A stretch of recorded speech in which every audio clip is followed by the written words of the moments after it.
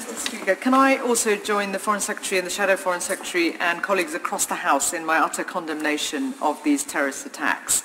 My thoughts are with the victims and their families.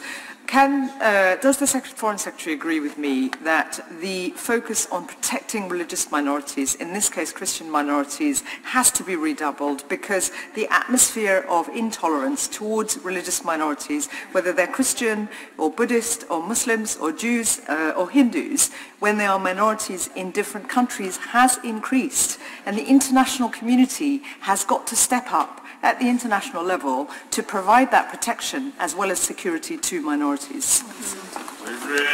Well, she is absolutely right, and I commend her for the work that she's done championing the rights of Rohingya Muslims in Burma, which was, I think, the first contact that I had with her when I became Foreign Secretary. Um, and I think it's very important to understand that it's a kind of easy first thing to attack, to target someone because of their religion. And in very poor countries, uh, where there are a lot of people who haven't had proper education, it's easy to whip up feelings in a way that can be absolutely lethal. So I wholly agree with what she says.